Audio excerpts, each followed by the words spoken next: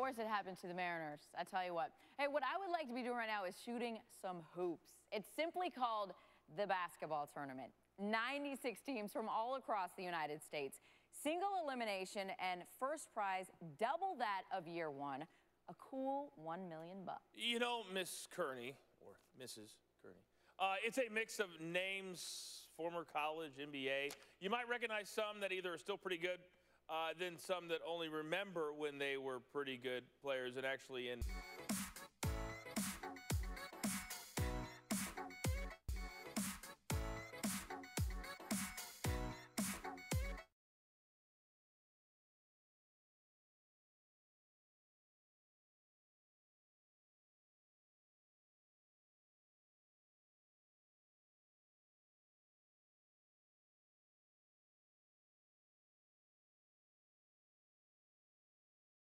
And he is out there at camp today, and we have a man who appreciates good defense. Yep. Antonio Pierce here with us this afternoon. When you have a chance to sit down and watch breakdown tapes of what Luke Kuechly does, how is he so effective out there? One, you know he prepared. All right, to throw a punch, and there's a positive to be had. Right, Apparently, right, right, yeah, uh, yeah. you have a personal story that you can actually yeah. relate to this. I got to hear it. Same thing. I was an undrafted guy.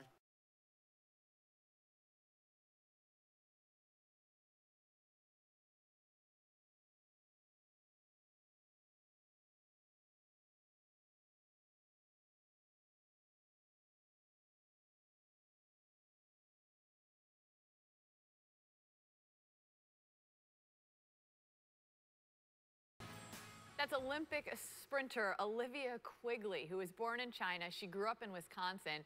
And the goal that's going to be going home with her is even more poignant, given that just this February, she was diagnosed with stage four breast cancer. She is just 24 years old. Olivia, one of the many inspirational stories to come from Special Olympics World Games. Kevin Negandhi with a look at the best from day six of the action in Los Angeles. And for the second time this week, the Blue Jays pull off a blockbuster trade. They are stu still two games back in the wild card hunt. How does the addition of David Price get them into seven? Tim Kurkjian rejoining us now, about six and a half hours away now from this trade deadline expiring. The Padres have yet to move a player. What could we see happen to San Diego by the end of the day? Well, I just got off the phone with the general. Here on Sports Center, it is year two for Tennessee Titans head coach Ken Whisenhunt, whose team is coming off a 2 and 14 season. That earned them the number two pick in the draft. To the Titans hope Sarah will be their franchise arm for the next decade. And they have invested heavily in arms over the last couple of years. Since 2006, Tennessee's drafted three quarterbacks in the first round, all of them within the top eight picks. Vince Young and Jake Locker's time there in the league lasted a little bit longer than Ronda Rousey's opponents. The team hoping that Mariota pro proves to be the long-term investment that they can bank on. Paul Kuharsky with more.